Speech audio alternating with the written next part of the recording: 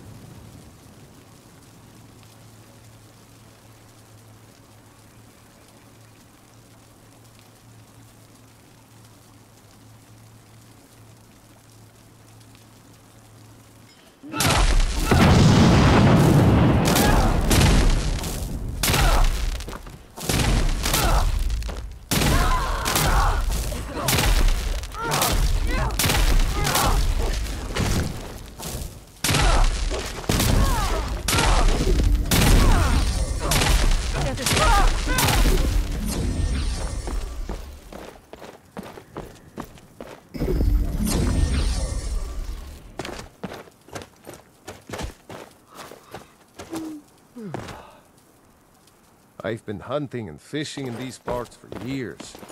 Stop that!